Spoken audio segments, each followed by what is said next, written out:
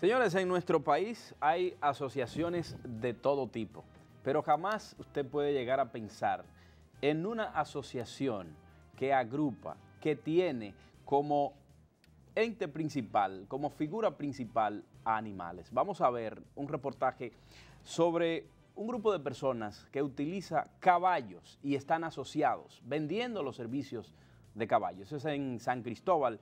Jesús Uribe nos amplía sin las condiciones necesarias con las que se debe tratar y mantener un animal, cientos de carreteros en la provincia de San Cristóbal se ganan la vida cargando materiales pesados utilizando caballos como motor de impulso. Sin embargo, esta situación ha despertado repudio por parte de la población, ya que los animales son forzados a realizar grandes cargas.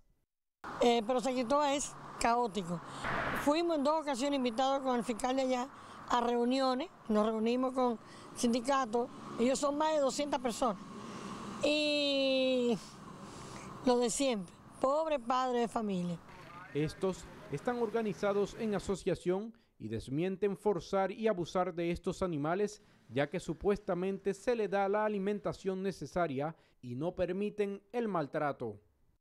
El caballo no se está maltratando, porque aquí yo vivo encima de eso y la directiva que tengo viven encima de eso.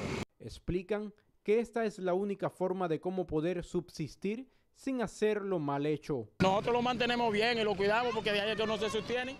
La encargada del Departamento de Protección de Animales, Marilyn Lois, dice tener conocimiento del caso y que busca la mejor forma para que estas personas puedan trabajar sin usar de manera vil a los caballos.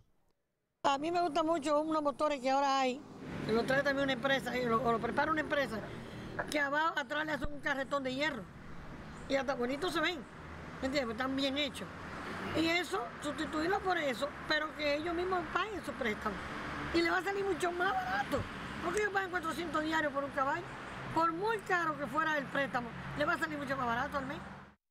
El uso de carretas con caballos en el país, tanto en San Cristóbal como en Santo Domingo, es común principalmente en aquellas personas marginadas que usan los animales para poder sobrevivir.